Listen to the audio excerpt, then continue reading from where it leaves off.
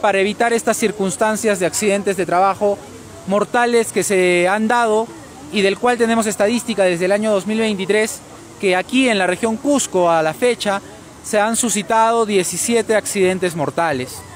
De estos 17 accidentes mortales, 14 se han dado el año pasado, en el 2023, y justamente este dato que preocupa bastante a nosotros como SUNAFIL y a todos los sectores que intervienen en lo que corresponde a la prevención y a la seguridad y salud en el trabajo, es que la SUNAFIL ha lanzado un aplicativo para coadyuvar a la prevención y evitar que estos números se eleven en lo que viene del año. ¿Y están cumpliendo las empresas o hay omisión en qué Además de, contener, de elegir un comité de seguridad o a un supervisor de seguridad, las empresas también tienen la obligación de registrar este cumplimiento a través del T-registro. Es ahí donde nosotros podemos detectar si es que algunas empresas han declarado o no a su comité a través del T-registro del PLAME, de la planilla electrónica. Hemos notificado este año 2.000 cartas disuasivas relacionadas justamente a estos incumplimientos. No sabemos si tienen o no tienen porque no lo han registrado todavía.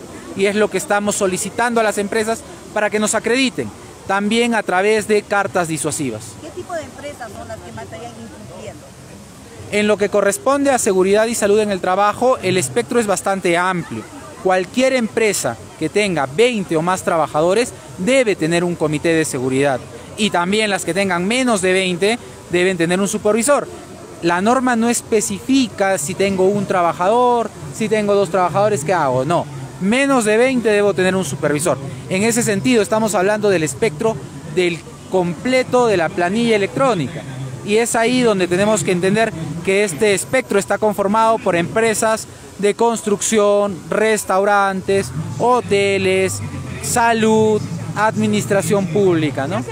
¿Es el control de estas exigencias ustedes tienen a cargo?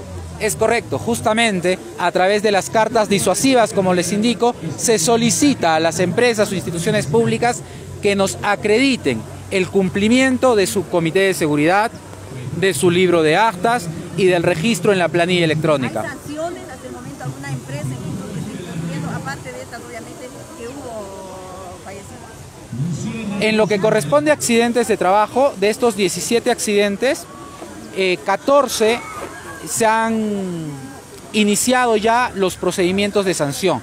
¿sí? En referencia a lo que corresponde a Comité de Seguridad y Salud en el Trabajo, la SUNAFIL, dentro de sus actividades preventivas, lo que busca es que las empresas tengan comité, porque esto va a ayudar a evitar situaciones o desenlaces fatales.